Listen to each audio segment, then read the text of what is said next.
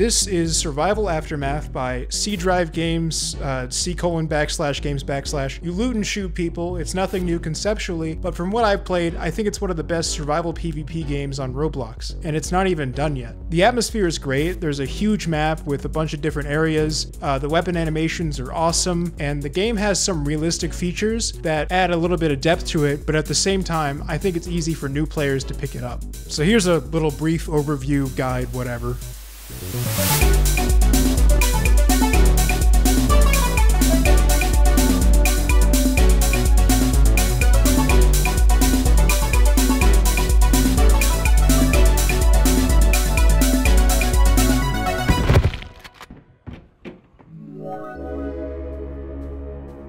Games like Apocalypse Rising 2 and State of Anarchy, games which I like very much, don't have this key feature. You can take most things in the world, scrap them for their parts, or use them as ingredients to craft things that you need. You can craft backpacks, ammo, armor, medical supplies, even weapons. Currently, you can only craft a bear trap, a Molotov, an anti-personnel mine, and a low-quality bow and arrow. But in the future, you'll be able to craft rudimentary firearms and all sorts of other improvised weapons. The crafting itself is pretty easy. You just press F to scrap items, and then you press U to look at your recipe book, and it just happens passively while you're running around. A major benefit of the system is the fact that any ammo you find is ammo you can use. If you find 5.56 and you need 9mm, you can just press F on the 5.56, it'll turn into metal and gunpowder, then you could craft 9 mil. You don't have to worry about switching ammo types when you find a better weapon, or having to switch to a worse weapon because you don't have ammo.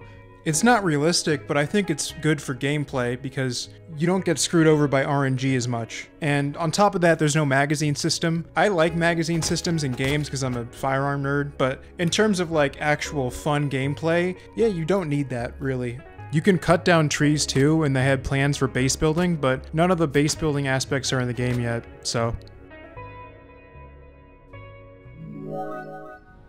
and the zombies. The zombies in this game are noticeably different from other zombie games that I've played, in the sense that they're kind of mostly passive, unpredictable, they show up in strange places. They're just kind of like wildlife in a sense, but the reason why they're dangerous is because they give your position away. It's not that you're really ever going to get killed by them unless you plan something really poorly. Um, I'll explain. So the zombies will come from very far away when they hear gunfire, and this could take a pretty long period of time in game. So you could have a large fight take place, and I've noticed that a whole bunch of zombies will show up the next day. So if you stick around for too long, you might not be able to loot that body because there'll be ridiculous amounts of zombies everywhere. And even if they don't kill you, a player is going to notice that if they're nearby. You'll just see them walking around in hordes in completely random places. Kind of reminds me of The Walking Dead. Also, they just randomly start running even when they're not aggroed, and sometimes they break down doors, which is very scary if you're not ready for it.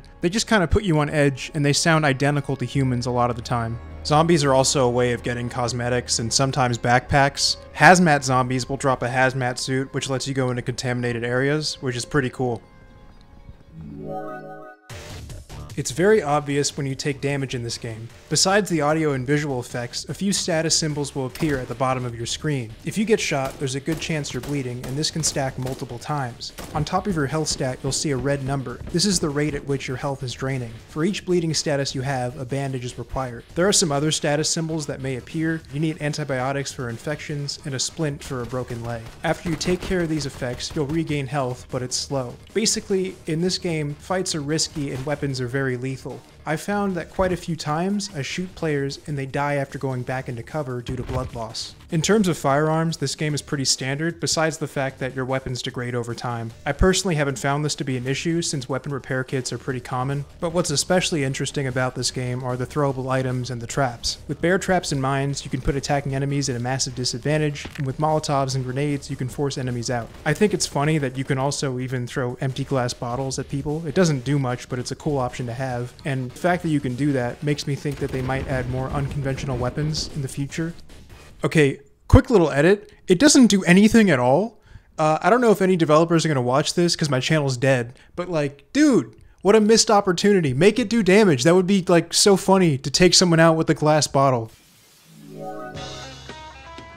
There are some bugs I encountered, but they weren't that bad, and it didn't really impact my experience at all. I'm gonna list them anyway. Uh, when you first join, you get this weird game pause thing. I wasn't recording when I first played, so I don't have footage of it, but I reset and then I rejoined, and I think it was like it was gone. So sometimes crafting breaks. Uh, I found that if I drop my bag and pick it back up, everything works fine again. This is made easier by the fact that all your stuff is saved inside the bag when it's dropped. So this is also a cool way to transfer loot between players. You can craft Molotovs and they're very scary and they have a stupidly large blast radius. Um, I'd like to hope this isn't intentional, but you can throw one down a flight of stairs and you will get burned at the top. I don't understand it, but hey, if you have the recipe ingredients to craft one, uh, go ahead and spam them because they will kill people. I saw an invisible dude on a motorcycle once, and as soon as he got off, he just appeared right in front of me and I gunned him down. It didn't happen the next time I saw someone on a motorcycle, so maybe it's kind of like a rare bug or something, or it got fixed, I don't know. Um, certain items can be hard to reach if they're not at head level, so they won't even appear in the vicinity looting screen or be interactable. Like you can't just look at them and they highlight like other items. If you see ammo under a bed or on a high shelf, you might not be able to get it, which is mildly irritating, but hopefully that gets fixed.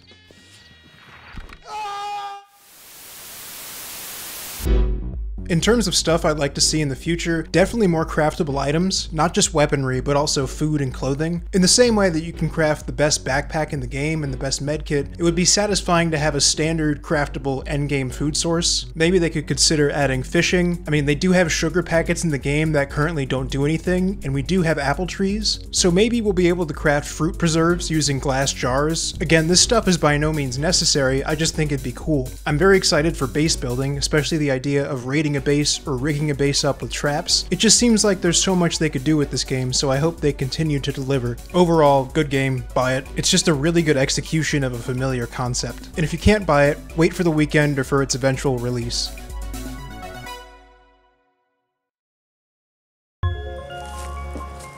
Alright, well I haven't uploaded in a long time, like actually sat down and edited a video, and uh, Part of the reason for that was I thought that a lot of the stuff I had for ideas for videos just weren't good enough.